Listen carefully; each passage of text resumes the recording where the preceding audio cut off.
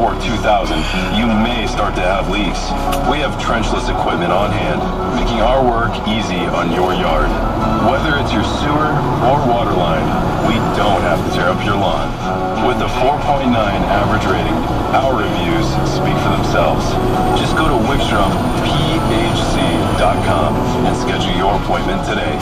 I'm confident that once you have us in your home, whether it be plumbing, heating, or cooling, you'll be a customer for life. Wickstrom Plumbing, Heating, and Cooling. Real Idahoan service you can trust. Give us a call at 208-466-9447 and get your water or sewer line taken care of today.